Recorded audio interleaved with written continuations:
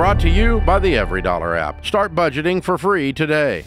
Uh, I'm calling. I'm, I uh, own a small construction company. Uh, married. My wife's a nurse. We own two homes in uh, in San Jose, and uh, and we're broke.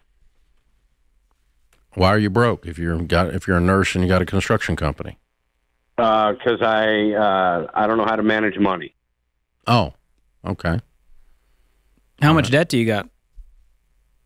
Uh, so uh, I have SBA loan for the company, uh, 130. I got a HELOC on one of the houses for 150.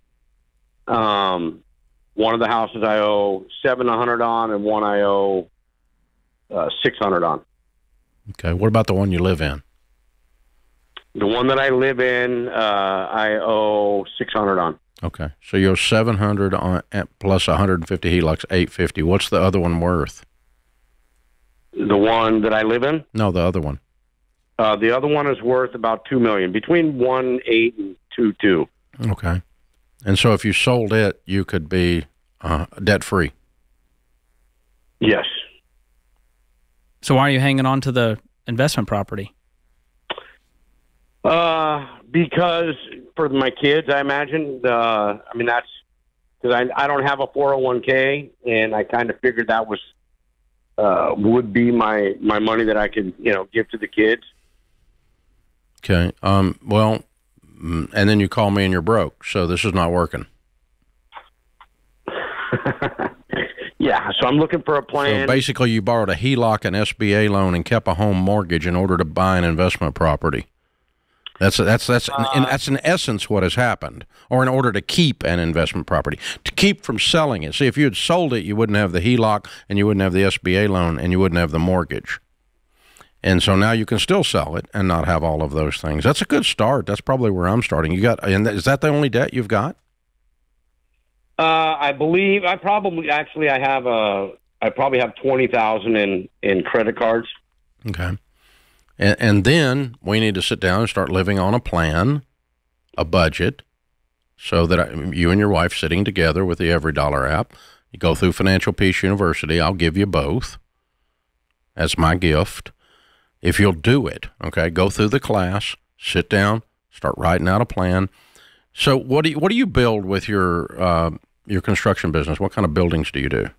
It's actually we work. I'm, it's a waterproofing company, and we work on commercial buildings mostly, and apartment buildings, decks, and underground Mm-hmm. parking garages, and podiums, and planners. Okay, so you have to, uh, I presume you have to present a detailed plan and a bid to uh, to to your customers, don't you?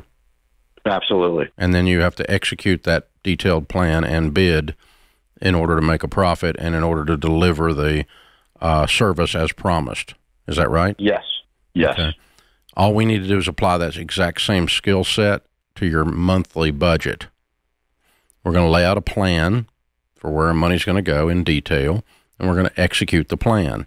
And the two of you, you and your wife, need to agree to that plan before the month begins, just like you and the customer agree to the budget and the schedule of the job when you get the new job, when you're bidding a job.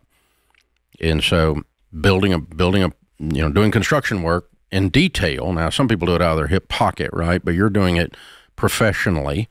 And if you'll apply that exact same mentality to your monthly budget, tell your money what to do before the month begins and then go do it, you and your wife, then you don't accidentally end up with credit card debt or accidentally go, oh God, we got to clean up this mess with a HELOC. Because the HELOC was to cover a mess, wasn't it? Actually, it was to build. I pulled it to build in the house, but yeah, I, I yeah, I, sh- I should have not borrowed the money. Yeah, yeah. So if you're doing that, then you're not doing any more damage, and you've got peace, and you've got this great income with no payments in the world to prosper by selling the rental. I would sell the rental and get myself on a plan. I can breathe just thinking about selling this thing and being completely debt free with money left over for an emergency fund and then restarting with Yeah. this fabulous income in California. Now, if you do that and you don't change your habits, You'll you're going to be right right back back in a mess again. So the, it's it's a two part answer. You got to change your habits, get on a plan, start executing like you were doing a job with your spouse in agreement. Hang on, Christian will pick up. We'll get you signed up for everything for free. And if y'all will go do it, we'll help you do it.